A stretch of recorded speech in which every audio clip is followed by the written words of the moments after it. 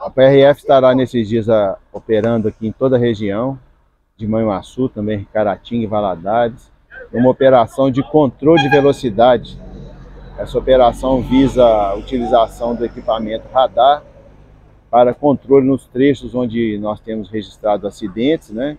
Então nós estaremos aí de hoje até o final do mês atuando em toda a região no controle de velocidade, principalmente no trecho da BR-262, é, entre o quilômetro 30 e o quilômetro 50. A gente tem percebido aí um aumento dos acidentes, principalmente na 116, e a gente atribui realmente, a, infelizmente, as condições das rodovias boas, né?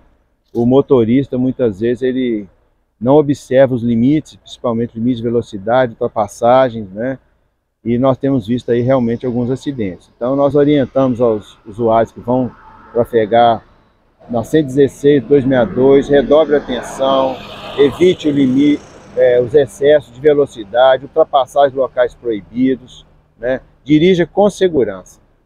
É, na verdade, existe uma multa né, nesse, nesse sentido.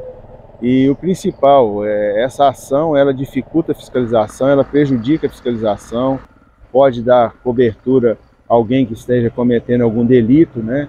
Então orientamos aos motoristas não façam isso. O PRF está ali para fiscalizar, para coibir os excessos, né? Com o objetivo de manter a segurança no, no trânsito principalmente nessas rodovias que a gente sabe é 262 116, são rodovias que nós temos registrado muitos acidentes, a região aqui, todos os moradores conhecem, então nós pedimos, colabore com a fiscalização.